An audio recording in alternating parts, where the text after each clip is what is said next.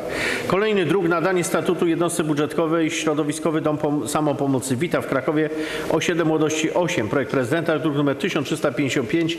Bardzo proszę o informację w tej sprawie. Panie Przewodniczący, Szanowni Państwo Rady, Radni, jest to jednostka budżetowa, która zapewnia wsparcie w formie pobytu dziennego dla 57 osób chorujących psychicznie. W statucie uwzględnione zostały nowe przepisy rozporządzenia, który szczegółowo mówi o programach i planach działania w tym zakresie. Dziękuję bardzo. Dziękuję. W tej sprawie mamy opinię pozytywną Komisji Rodziny i Polityki Społecznej, która głosując w dniu wczoraj, nie, w poniedziałek, e, głosując 7 za jednomyślnie przyjęła taką opinię. Czy ktoś z Państwa radnych chce zabrać głos?